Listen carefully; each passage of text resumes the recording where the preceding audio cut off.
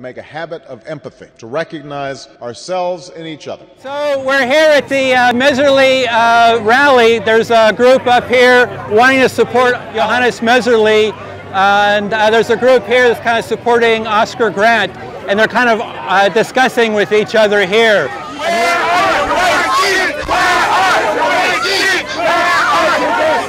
That's prejudice! That's prejudice! That's prejudice!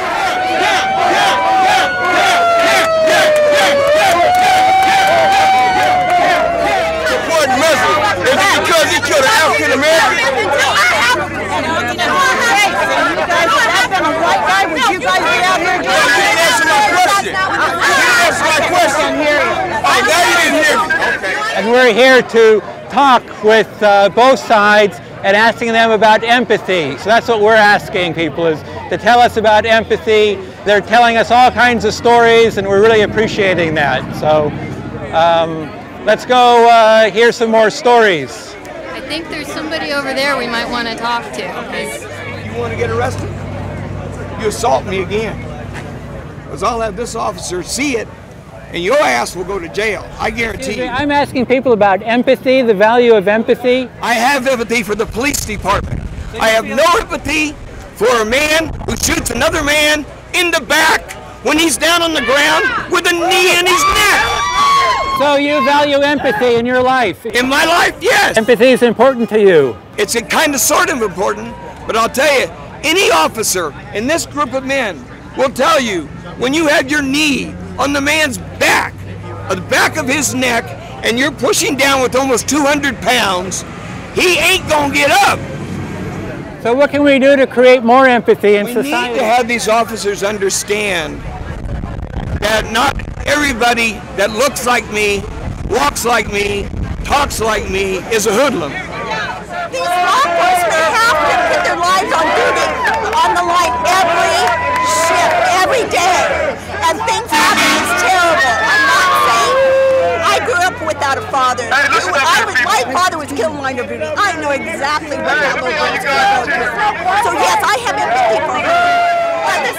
what they did, and they had, they think they have a right to break into someone's bu- someone's business, steal things. I have no empathy for them. I think they should be taken to the cleaners. Too, I am. Too bad for the police. They should never put the badge on. Too bad. Four more dead. Four more dead. Four more dead. I think they should understand that if four officers die, that every day there's four Oscar Grants being killed in this nation. Excuse me, I'm asking people about empathy. Would you like to say a few words about how this relates to empathy?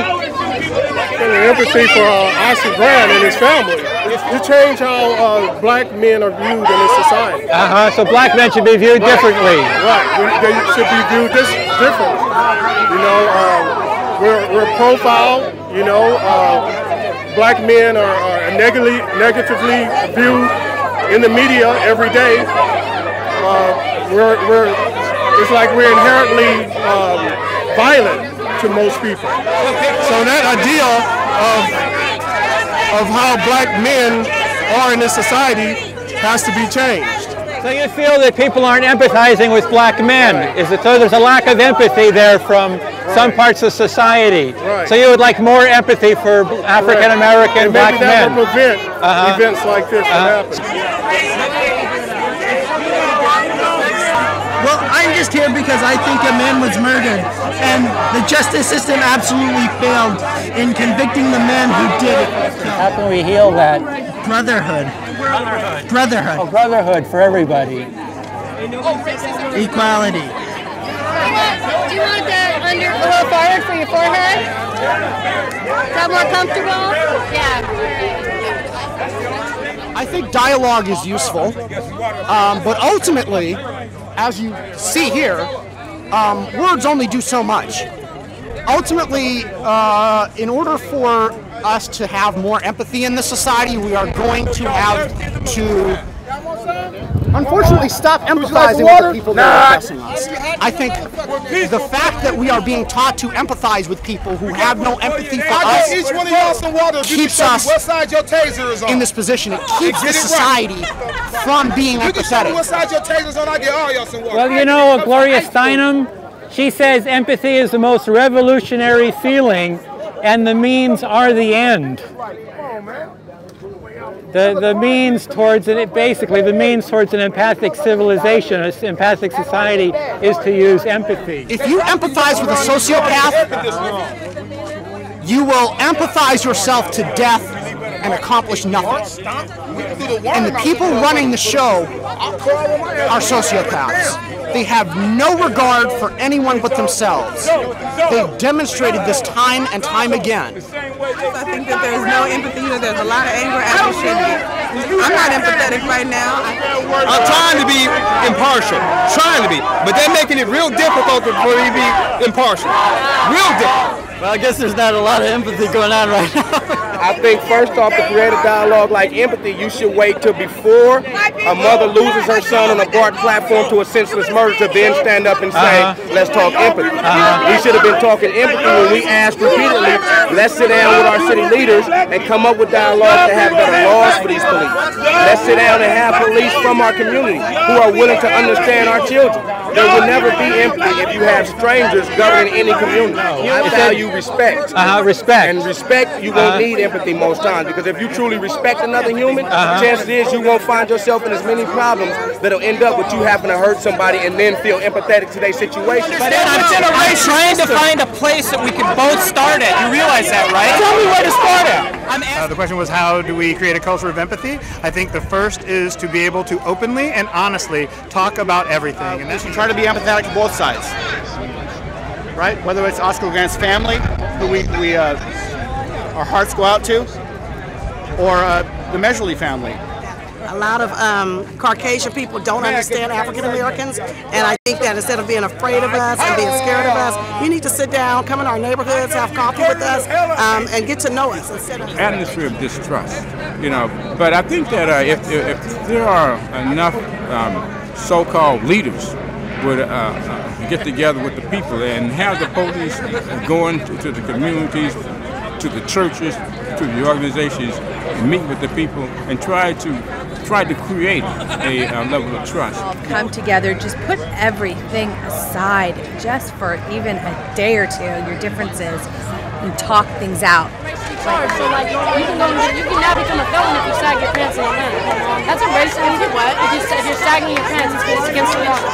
This is crazy. We're America. We're America. We're having conversation here as a person talking about what it's like to be a police officer um, and see the, the crime and the, the death and rape and everything every single day and what it's like. Um, and that you know, police officers are human. This young man identifies himself as an anarchist, um, very much not enjoying the strategy of, uh, of uh, officers and, and even more so government and so forth. So they're kind of trying to, they're grappling with how do you have a society where everybody participates And I'm, I'm, I'm saying we should remedy the cause instead of the symptom of society's problems. So how, do, how would you do that? With, with, I believe in community. I think that the reason we have all these problems is because we have a lack of community. People do not care about each other.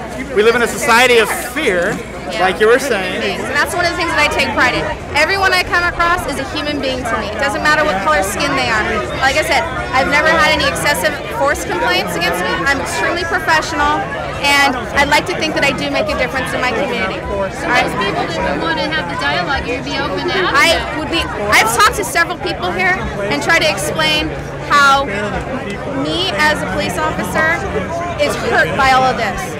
There's a guy over there with all cops are killers, and I tried to have a conversation with him, and he refused to talk to me because he doesn't want to talk to me about. it. Well, I think a lot of that has to do with suspending judgment. Um, you know, we don't know what other people's experiences are, and I think in order to really be able to empathize with somebody, you have to have sort of been where they are and have had the opportunity, you know, as to say, walk a mile in someone else's shoes. So um, I think that as we, as a culture, learn how to do that better and put aside our own judgment and to say, okay, well, let me try to see where you're coming from. Um, I, I think that that'll go a long way towards creating more empathy in the world. see the world through other people's eyes. Now, empathy is a quality of character that can change the world.